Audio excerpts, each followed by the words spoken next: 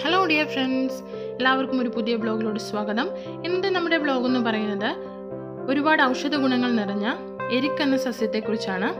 നമ്മുടെ വീഡിയോ മുഴുവനായി കാണുക. ചാനൽ സബ്സ്ക്രൈബ് ചെയ്യാത്തവർ സബ്സ്ക്രൈബ് ചെയ്യുക സപ്പോർട്ട് ചെയ്യുക കമന്റ്സ് രേഖപ്പെടുത്തുക. ഇതാണ് എരിക്ക് എന്ന ചെടി. എല്ലാവരും കണ്ടു കാണുമല്ലോ.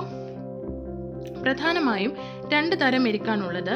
കാലോട്രോപ്പിസ് പ്രൊസേറ എന്ന് പറയുന്ന ചുമപ്പ് കലർന്ന വയലറ്റ് നിറമുള്ള എരിക്കും കാലോട്രോപ്പിസ് ജൈജാൻഡി എന്ന് പറയുന്ന വെള്ള എരിക്കുമാണ് ഉള്ളത് രണ്ട് എരിക്കുണ്ടെങ്കിലും ഇതിന്റെ ഗുണങ്ങളെല്ലാം ഒന്ന് തന്നെയാണ്. പ്രധാനമായും എരിക്ക് ഒരു ഔഷധ സസ്യമായിട്ടാണ് ഉപയോഗിക്കുന്നത്. എരിക്കിന്റെ വേര് വേരിന്മേലുള്ള തൊലി കറ ഇല പൂവ് എന്നിവ പ്രധാനമായും ഔഷധ നിർമ്മാണത്തിന് ഉപയോഗിക്കുന്നു. ത്വക്കുരോഗം ഛർദി രുചിയില്ലായ്മ മൂലക്കുരു എന്നീ അസുഖങ്ങൾക്കും എരുക്ക് ഉപയോഗിച്ചു വരുന്നു. കൂടാതെ മുട്ടുവേദന പ്രമേഹം ഉപ്പൂറ്റുവേദന വാദസംബന്ധമായ അസുഖങ്ങൾ പല്ലുവേദന ചെവിവേദന സ്കിൻ പ്രോബ്ലം ഇവയ്ക്കും എരുക്ക് ഉപയോഗിച്ചു വരുന്നുണ്ട്. നമുക്ക് എങ്ങനെയാണ് ഇത് ഉപയോഗപ്പെടുത്തുന്നതെന്ന് നോക്കാം. ഉപ്പൂറ്റുവേദന. പഴുത്ത എരിക്കിന്റെ ഇല അടുപ്പുകല്ലിൽ വെച്ച് ചൂടാക്കി അതിൽ ചവിട്ടി നിന്നാൽ ഉപ്പൂറ്റി വേദനയ്ക്ക് ശമനമുണ്ടാകുമെന്നാണ് പറയപ്പെടുന്നത്.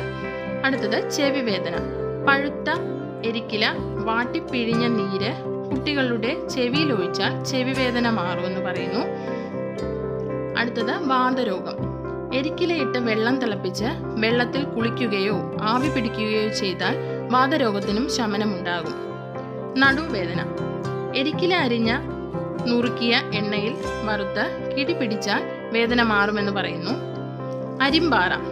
എരിക്കിലേക്ക് ഒരു കറയുണ്ട്. ആ കറ അരുമ്പാറയുള്ള ഭാഗത്ത് പുരട്ടിയാൽ അരിമ്പാറ മാറുമെന്ന് പറയുന്നു. കൂടാതെ ശരീരത്തിലെ കൊഴുപ്പിന് എരിക്കിലയിട്ട് തിളപ്പിച്ച വെള്ളം കുടിച്ചാൽ കൊഴുപ്പിനെ നമുക്ക് നിയന്ത്രിക്കാം. പ്രധാനപ്പെട്ട രോഗങ്ങളിലൊന്നായ പ്രമേഹം നിയന്ത്രിക്കാനും എരിക്കിലയിട്ട് തിളപ്പിച്ച വെള്ളം കുടിച്ചാൽ മതി.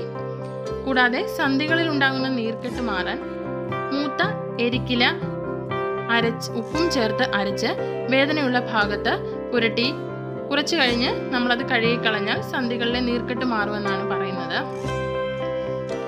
പ്രധാനമായും ഉഷ്ണമേഖലയിലാണ് എരിക്ക് വളരുന്നത്. നിങ്ങളിപ്പോൾ കാണുന്നത് ചുമപ്പ് കലർന്ന വയലറ്റ് നിറമുള്ള എരിക്കാണ്. എരിക്കിന്റെ പഞ്ഞി പോലുള്ള വിത്താണ് കാണപ്പെടുന്നത്. നമ്മൾ അപ്പൂപ്പൻ താടി എന്നാണ് ഈ വിത്തിനെ പറയുന്നത്. ഇതിനൊരു കായുണ്ട്. ആ കായ പൊട്ടി വിത്തുകൾ കാറ്റിലൂടെ പറന്ന് പല സ്ഥലങ്ങളിൽ ചെന്ന് പതിക്കുന്നു. അവിടുന്ന് പുതിയ ചെടികൾ ഉണ്ടാകുന്നു. അതുകൂടാതെ നമുക്ക് തണ്ട് മുളപ്പിച്ചും ചെടി പുതിയ ചെടി ഉണ്ടാക്കാനായിട്ട് പറ്റും. വസന്തകാലത്താണ് ചുമപ്പ് കലർന്ന വയലറ്റ് നിറമുള്ള എരിക്ക് കൂടുതലായി പുഷ്പിക്കുന്നത്. എന്നാൽ വെള്ള എരിക്കിൽ എപ്പോഴും പൂ ഉണ്ടാകുന്നുണ്ട്.